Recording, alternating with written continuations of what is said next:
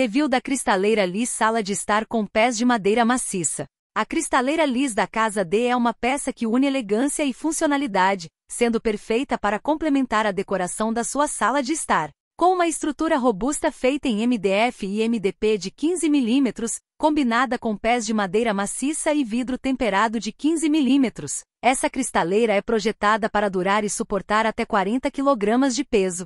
Seu acabamento em pintura print wood dá um toque sofisticado e moderno, ideal para quem busca um móvel que se destaque sem perder a harmonia com o restante da decoração. O design da cristaleira lisa é pensado para oferecer praticidade e beleza, ela conta com quatro portas, sendo as inferiores equipadas com o sistema Soft Close, que garante um fechamento suave e silencioso. As dobradiças metálicas também proporcionam durabilidade e resistência. As quatro prateleiras internas são perfeitas para organizar e exibir suas peças favoritas, como cristais, louças ou objetos decorativos. Além disso, o detalhe curvo dos puxadores embutidos dá um charme adicional, enquanto a transparência do vidro temperado permite que seus objetos fiquem sempre à vista, protegidos do pó e de danos.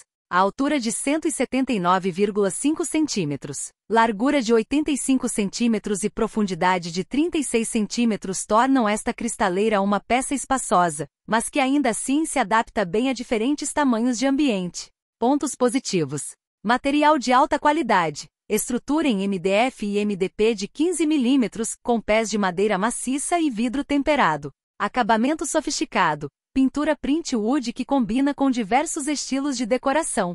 Funcionalidade: sistema soft close nas portas inferiores, proporcionando conforto e segurança no uso diário. Design elegante, puxadores embutidos e detalhe curvo que agregam valor estético. Versatilidade: quatro prateleiras para organizar e exibir objetos variados. Pontos a considerar. Montagem requerida. A cristaleira chega desmontada e requer montagem, sendo recomendável contratar um profissional para garantir um resultado perfeito. Verificação prévia. É importante verificar todas as peças e instruções antes de iniciar a montagem para evitar contratempos.